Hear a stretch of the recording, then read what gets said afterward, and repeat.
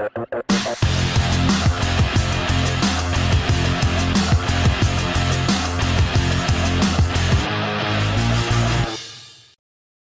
Привет! На этой неделе Левада-центр провел опрос, в котором респонденту предлагалось ответить на вопрос-ловушку, поддержит ли он Андрея Семенова на выборах президента в 2018 году, ведь его поддержал сам Владимир Путин. За вымышленного кандидата в президенты уже сейчас готовы проголосовать 18% жителей России. Причем 11 из них сами своими ушами слышали о том, что Путин поддержал его кандидатуру на выборах. А все почему? Потому что нормальные люди во время прямой линии президента засыпают еще на этапе оглашения экономических успехов страны. А под такой монотонный бубнеж какой только Семенов не привидится. Ну что ж, я думаю, ЛДПР теперь надо выдвигать не Жириновского, а какого-нибудь реального Андрея Семенова, потому что он уже сейчас имеет большую поддержку и все шансы пройти во второй тур. Но вообще я считаю, что вымышленный персонаж, конечно, лучше всего подойдет на должность президента. Более того, конкретно президента России Владимира Путина вообще без потери качества вполне может заменить Дональд Дак. Потому что, во-первых, совершенно непонятно, есть ли у Дональда дети, а если есть, как их зовут, какие у них фамилии, где они живут и чем занимаются. И во-вторых, это, конечно, содержательность выступлений.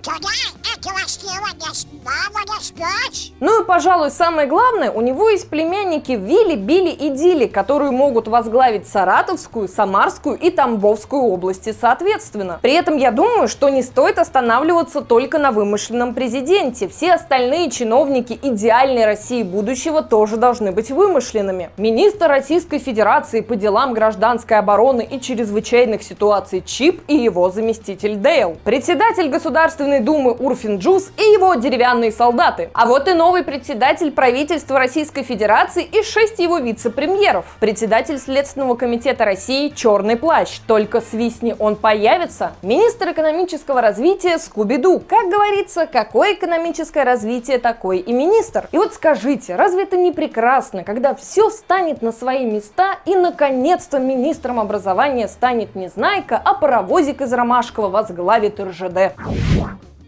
А еще на этой неделе Любинский районный суд Москвы удовлетворил иск фонда «Соцгоспроект» к Алексею Навальному и фонду борьбы с коррупцией, связанный с фильмом «Он вам не Димон». Теперь Навальный уже не первый раз должен по решению суда удалить некоторые фрагменты своего видео о бизнес-империи председателя правительства. С аналогичным иском ранее обращался бизнесмен Алишер Усманов. Я думаю, что каждый из участников фильма должен обратиться в суд и непременно его выиграть. Тогда мы получим на канале Алексея Навального настоящий шедевр. Встречайте фильм расследования «Он вам не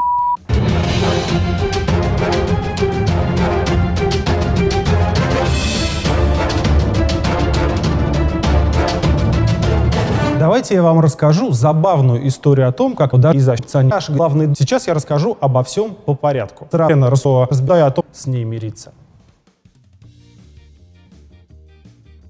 Удивительная способность нашей власти распилить все, что угодно, даже чужие видеоролики. Я думаю, агитацию Навального частично изымают, потому что власти хотят отката. Где-то кто-то что-то произвел, а им не досталось кусочка. Поэтому Навальному нужно беречь свою предвыборную программу, чтобы правительство и оттуда чего-нибудь не конфисковало. Наверное, поэтому он ее и не публикует. Так что я ничуть не удивляюсь, когда полиция заявляет, будто Николай Ляскин, глава московского штаба Навального, сам на себя организовал покушение покушение. Раз уж ты попал в руки полиции, тебя не отпустят. Нет-нет, не важно, что ты был потерпевшим. Настоящих преступников еще поймать надо. А ты вот уже готовенький, сам пришел, сам на скамеечке сидишь, уголовного дела дожидаешься. Я думаю, что просто так для Николая Ляскина это не закончится. И какую-никакую, а статью ему придумают. Как минимум его посадят за пропаганду самоубийств. Такая неделя, такие новости. С вами была Марина Мизинова. Подписывайтесь на наш канал, а также, пожалуйста, не забывайте нам ставить лайки под роликом. Спасибо, что смотрите нас. Всем пока. Увидимся через неделю.